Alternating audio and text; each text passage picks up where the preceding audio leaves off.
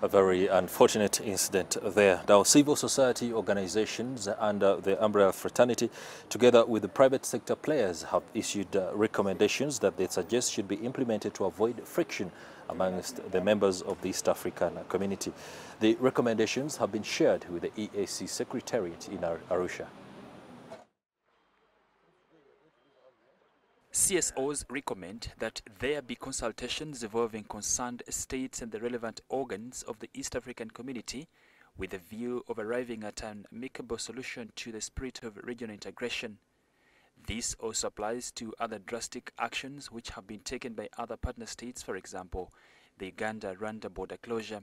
The continuous manifestation of these trade tensions when the East African community is watching is because it has not been granted that sovereign powers, those powers that it would use in executing, in promoting, in, in facilitating intra-East African community trade.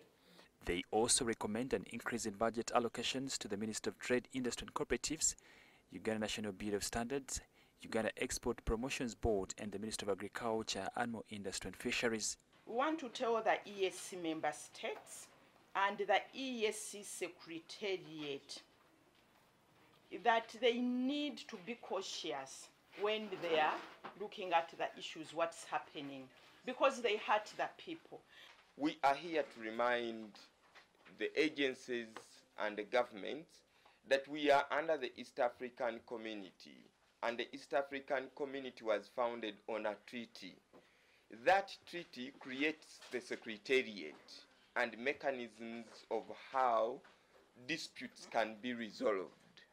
Several studies conducted in Uganda have established the vulnerability of Uganda's maize to aflatoxins contamination.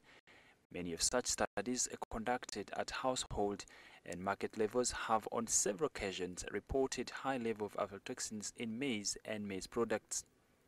For instance, in 2014, a study by African Union together with the School of Food Science and Technology, Nutrition and Biosystems Engineering, Makerere University, established that 20% of the maize samples collected for major maize growing regions in Uganda had aflatoxins above the recommended limit of 10 parts per billion.